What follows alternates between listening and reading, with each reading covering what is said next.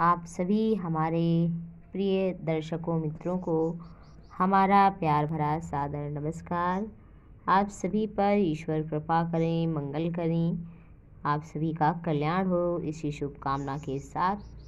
आज के इस वीडियो में आप सभी के सपनों के अर्थ के साथ में फिर से हैं हाजिर। चलिए जान लेते हैं सपने में धागा देखना इसका क्या संकेत है।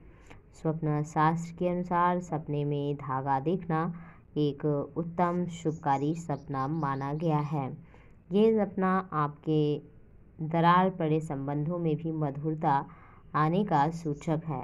मन खराब है तो मन भी अच्छा होगा। साथ साथ आपके रिश्तों में पहले की अपेक्षा मजबूती अधिक होगी। धागा देखना एक शुभकारी सपना माना गया है। तो दोस्तों, अगर आप भी आगे के सपनों के फल के बारे में जानना चाहते हैं, क्योंकि सपने यूँ ही नहीं आते। ये शुभाशुभ जीवन की ओर संकेत करते हैं। तो दोस्तों, आज का वीडियो तो पूरा होता है। नेक्स्ट वीडियो में फिर से मुलाकात हो, इसके लिए चैनल को सब्सक्राइब करिए, आइकॉन बेल प्रेस करिए। नमस्कार। बहुत बहुत आप सभी का धन्यवाद।